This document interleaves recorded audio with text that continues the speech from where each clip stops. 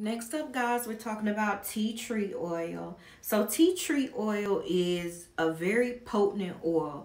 Like it is very strong scented. The fragrance is very like heavy on it. It tingles if it gets on your skin. It's very you could tell that you have on tea tree oil. So this specific essential oil I like to dilute or in um, like a massage oil or a salve or some Vaseline type substance, petroleum diluted because it's very strong. Um, tea tree oil is effective against um, bacteria, um, viruses, and it stimulates the immune system as well.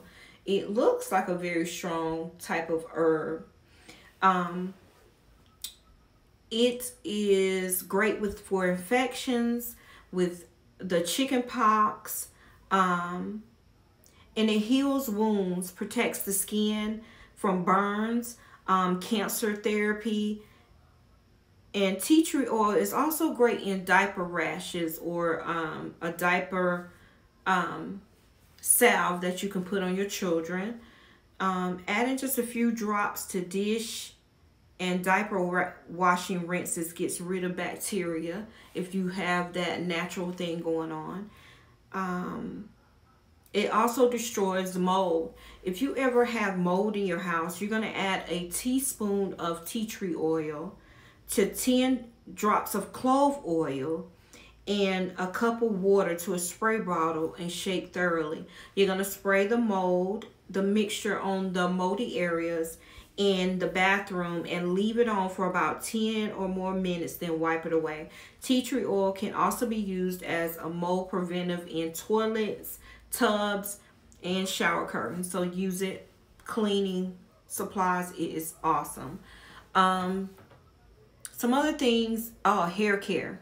It is great for your scalp, tingling. It is great for that.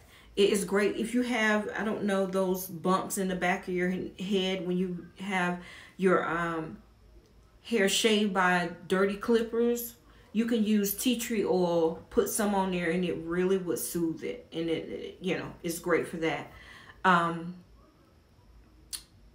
it is a gentle ele element to hair care and also fungus on your nails and athlete's foot as well.